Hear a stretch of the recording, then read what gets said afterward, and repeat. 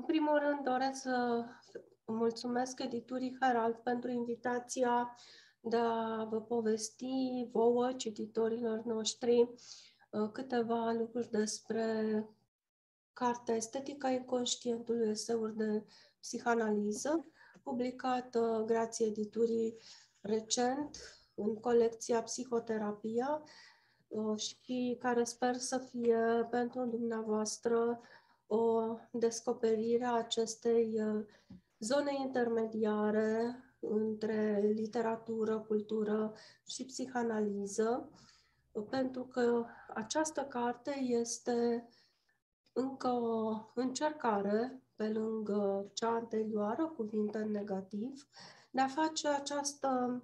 punte, acest pod între psihanaliză, literatură, creație și viață, între travaliul creator, travaliul psihic, travaliul psihanalitic. Este cumva o țesere continuă între arta de a scrie, arta de a interpreta, arta de a trăi. Este totodată mărturia unui cres personal că mintea umană are o dimensiune estetică indelebilă. Ea se regăsește și în creațiile psihice, și în creațiile artistice sau și științifice, indiferent de arhitectura normală sau maladivă a ei. Totodată, îndrăznesc să spun că este o pledoarie pentru a trăi creativ și a crea vital. Ea cuprinde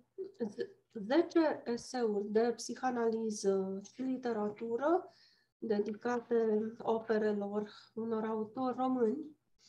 îndeosebi și a unor uh, autori străini, pentru a uh, enumera doar printre scriitorii aleși printre operele alese uh, Mircea Cărtărescu, uh, Magda Cărneci, uh, Cosmin Perța, Ioana Vintilă, Teodor Dună, printre o parte dintre scriitorii români, uh, dar și scriitori uh, de marcă, Max Blecher, care este mai puțin cunoscut în spațiul românesc, din fericire, uh, în ultimii 11-12 ani, datorită editurii care poartă numele și Institutului Clubul de Lectură, Max Blecher, care reușește promovarea și acestui autor, nu numai a poeziei și literaturii contemporane,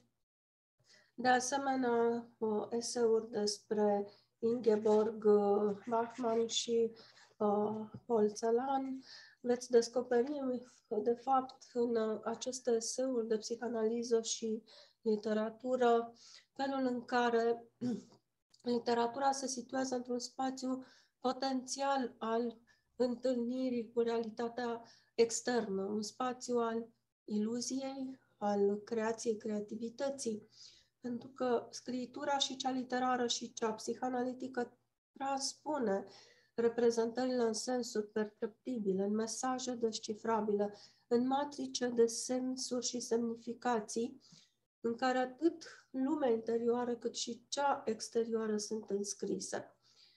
De asemenea, tot ce înseamnă această transformare, transpunere de la inform în forme, de la senzații da, la afecte, la reprezentări scenarii mentale, la creație, creativitate, produsul creat, de a uh, reuși această capacitate plastică a crea și a cunoaște, a gândi, a visa, a scrie, a transmite, a comunica. Tot acest proces fundamental în existența noastră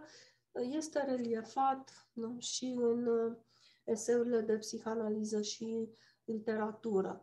Sigur că o bună parte, alte 10 eseuri, uh, sunt dedicate experienței psihanalizei de Camila, scrierii psihanalitice pe marginea acestor experiențe uh, clinice, lucrul cu pacienții uh, pe divan, deci nu cu produsele artistice, uh, ci cu produsele psihice, mai mult sau mai puțin sanogene, mai mult sau mai puțin maladive veți descoperi câteva eseuri despre corp și dureri rămase în tăcere, nepsihizate, despre cadrul uh, psihanalitic și zona lui de intimitate sau neintimitate, uh, despre um, construcția identității de sine și a sentimentului de a exista sau despre autentic și neautentic autentic în anumite tulburări, uh, limită, despre felul în care secretele de viață, secretele de moarte ne impactează destinul psihic uh, și relațional și social, despre felul în care comunicarea arhaică, figurabilitatea psihică, arhaicul, uh, ne uh, construiește intern, dar și despre libertatea de a fi, de a gândi și de a crea în psihanaliză, în viață și un aspect esențial pe care îl consider eu, a transmite, a crea matricea de transmitere în psihanaliză, în psihoterapie, în artă, în literatură. Prin urmare, itinerarul acesta psihanalitic, bazat pe experiența mea de psihanalist, dar și de scriitor, este un itinerar, un itinerar către creație, sens și libertate, da? spre a găsi propriile sensuri și adevăruri și crezuri în viață, adevăruri interioare, proprii, ale celuilalt, ale celorlalți, atât timp cât te simți tu însuți în ceea ce ești, crezi, trăiești, lucrezi în forul tău interior și în lume, dincolo de orice vicisitudini ale socialului, ale timpurilor pe care le trăim, felul în care poți fi sau nu deschis către căile obscure, întunecate, poate, ale inconștientului personal, colectiv, căi spre învățare din experiență și creștere, spre reciprocitate și adevărata relaționare cu lumea. Sper ca această carte,